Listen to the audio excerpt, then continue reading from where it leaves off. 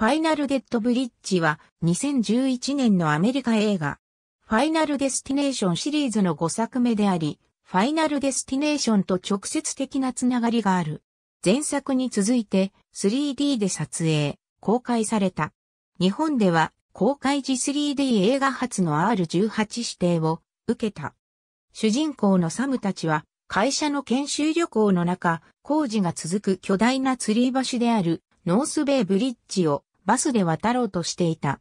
その瞬間、サムは自然災害により突如として橋が崩れ落ち、同僚や上司が次々と死んでいく凄惨な予知夢を見る。パニックに陥ったサムは周りに危険を知らせると、恋人、モリーを連れ橋から避難、彼らを含め8人の社員が奇跡的に事故から生き延びる。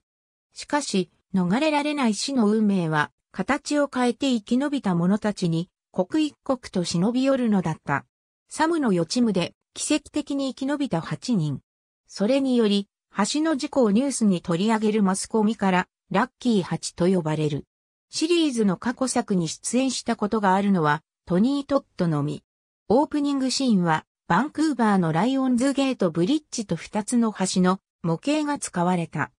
ニューラインシネマは、エルム街の悪夢、優勢からの物体 X ファーストコンタクトの脚本家、エリック・ハイセラーを起用し、シリーズの再興を図った。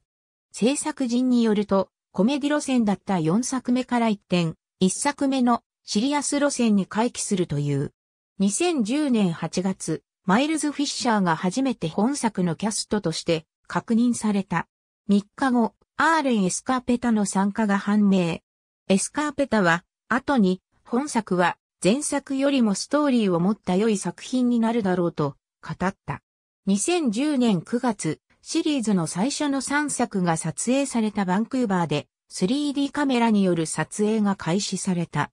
2011年2月1日のインタビューでトニー・トッドは本作が興行で成功を収めたら2本の続編が連続して制作される見込みを語った。ありがとうございます。